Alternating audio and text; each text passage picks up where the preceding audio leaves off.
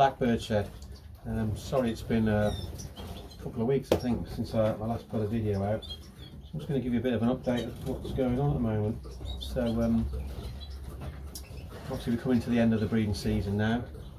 So um, just got two chicks, two young still left in, uh, in with their parents, and that's these two in here. So it's a nice bird there, dark one, a little bit of light on the wings. Nice bird, I like that. And uh, its sibling, the uh, yellow one there. Another nice bird. And um, this is the parents which do prov provide me with a cinnamon every now and then. So it's got a brown bird that. So I'm hoping it's not going to be too green, but I don't really know. We'll see. It's a nice bird. Um, here we got the uh, six Irish fancies with um, the other ones from the third round. Quite a lot of heavy molt going on in this one down here. This bird here you can see has a lot of feathers off the back and so has a few others. The birds are pecking them off.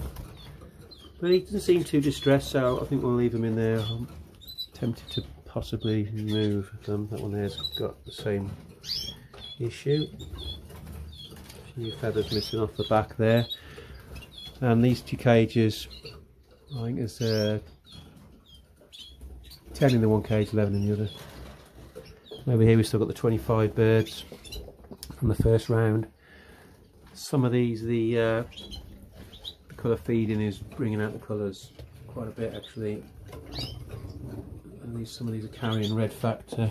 Uh, there's two yellow birds which are like a frost colour. Uh, they're just in the middle of a just in the middle of a bath at the moment, so maybe we'll get some footage of that in a minute. Something, something going on with this flight build at the moment. Like I said previously, I'm doing the, in something inside the house at the moment, so my spare time has been to do that, and um, we will uh, we'll get back to doing this when I get a spare moment. Got two days off in a row shortly. Might get a moment to just do a little bit of work on that. We'll see. Um, there's the uh, cock Gouldian finch with the orange head, and his uh, his his babies are really looking good now. There's the mother at the back there. Uh, if we go outside, I'll show you the um, the rest of them. Some really nice colours. Most of them are um, most of the, well, the cocks are redheads, and the uh, a lot of the hens are blackhead. Let's go and have a look. Perhaps if we just look through this bit here, there's one of them there. He hasn't really coloured up properly yet. He's from the second round. But there's one from the first round over there. Absolutely gorgeous bird. And that one's got a quite a light chest. Not as purple as the uh, as the father. Almost like a pinkish violet colour. Over there we've got another one from that's from the third round. Looks like that's going to be a cock. And the other one's down there. There's a lovely hen down there. Really nice, defined black head. And that's from the second round. That's well developed. And there is the other cock, red head, with a more purple breast. A bit more normal, that one. Next to that is another hen. You can just about see her there. She's got the black head with a bit of red on it, like the mother. I'll probably move her on. I do prefer the uh, pure black head. Here we've got the uh,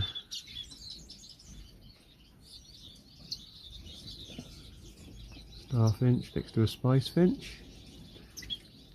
There seems to be quite a bit of uh, movement in some of the nests, but as of yet, no new eggs or chicks. Look at that gorgeous bird there. I'll be moving him on, I think. He's a lovely bird.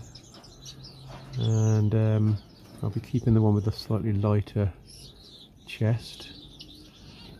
Um, I will be after some new ones, hopefully.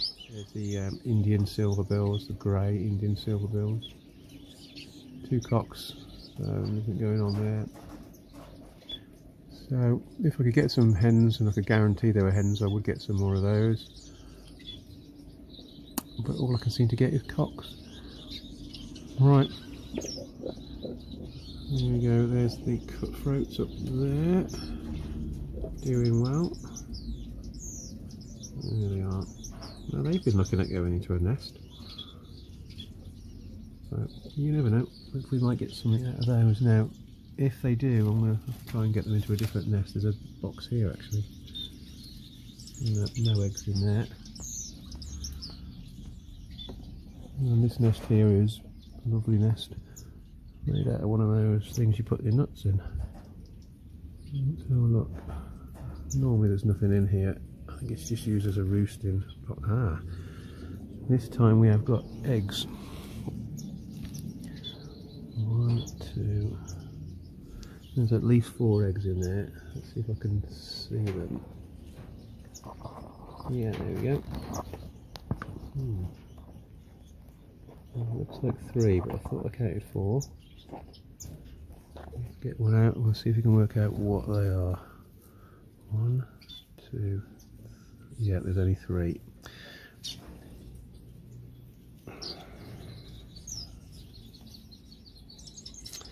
Well, first of all, they're fairly cold.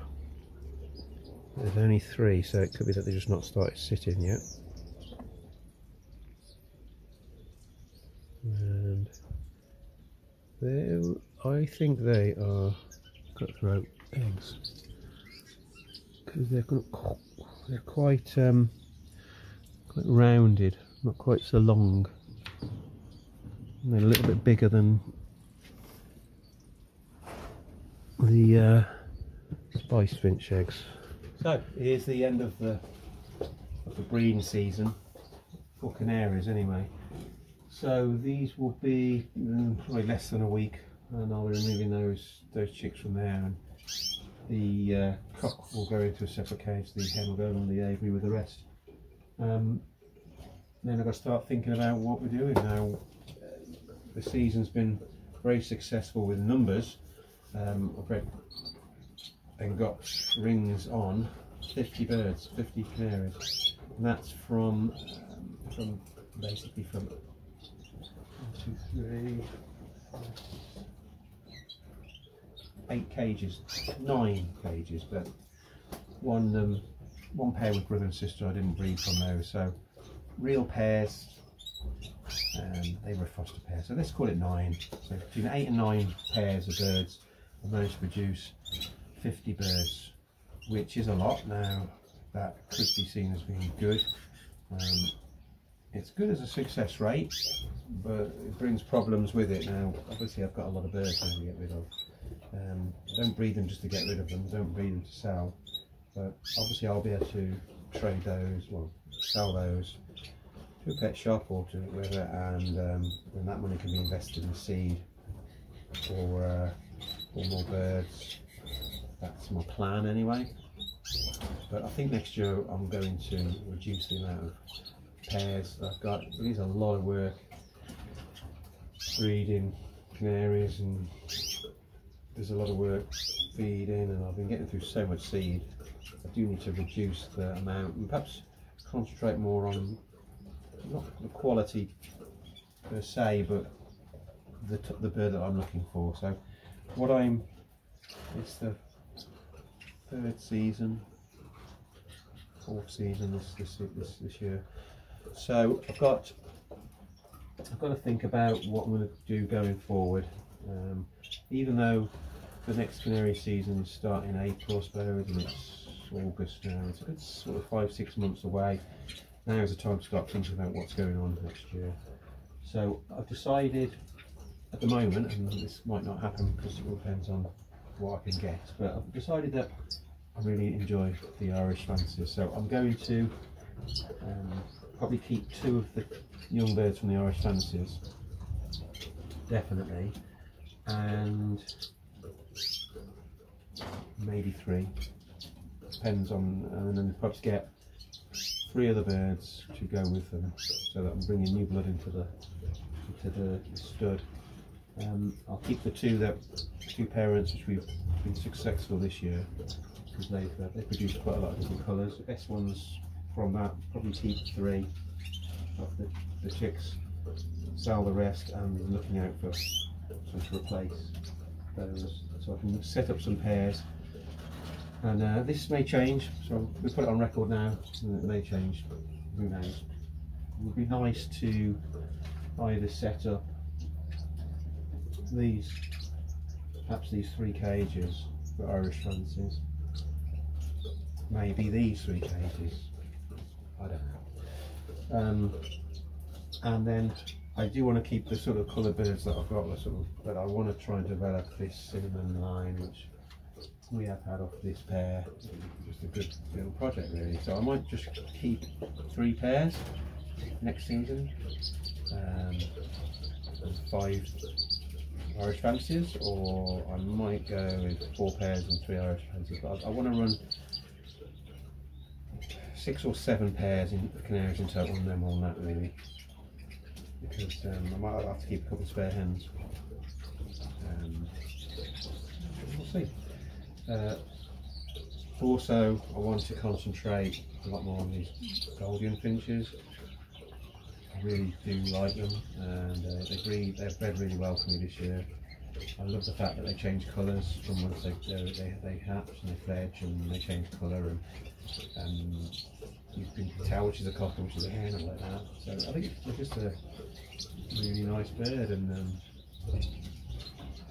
think I can sell those for more than I can sell the canaries. So the ones that I've got have been really good quality birds so far. So and hopefully I can breed them all different times of the year. We'll see. I know. And I want to get some of the other finches, the other foreign finches to breed. The cutthroats, star finches, star, um, spice finches, and um, when I've got the new cages down here, I'll have an extra couple of cages. I can do that. But but I need to get rid of a lot of birds. There's a lot of birds to get rid of. Uh, whether we've got any of the any of the auctions coming up uh, on a day that I can go, I can take some to an auction. I can also take some to pet shops. Um, I don't think it's going to be any problem in getting rid of um, any spare Irish fancies. Um, my local one will take those. Some of these other canaries, once they're molted, I can probably move on some of those. Um, obviously the red factors, the ones that have got a red factor in them will, be fairly popular I should think. And then the other ones I might only get seven or eight quid for them. But it will allow me to reinvest that in other birds. And we'll see, yeah. Thanks for watching. Uh, sorry the video is just basically an update. Um, no massive news really. Um, Blue's coming on um, a bit more, bit more, more friendly. Here he is.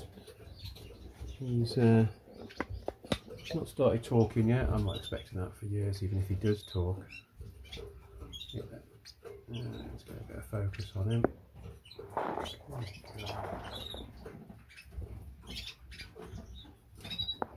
There he is.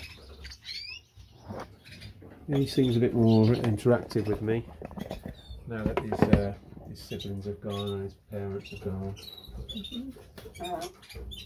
I do try talking to him. And I don't think he understands a word I'm saying. Um, yeah, so, yeah, so thanks for watching. Thanks for tuning in. And uh, um, if you do like the videos, please please hit the like button. That'd be great. Um, please subscribe if you haven't already. Um, talking about subscriptions, um, thank you for everybody that has subscribed. Um, now got over 300 subscriptions, um, which I'm chuffed with. Um, so thanks very much for doing that. Uh, any comments, I'll try and get back to you, or any advice. And um, thanks again for watching, and I'll try and get a video out a bit sooner next time. Um, perhaps we can get a bit more movement on this uh, this job I'm in the middle of doing again. So thank you. Take care. Bye.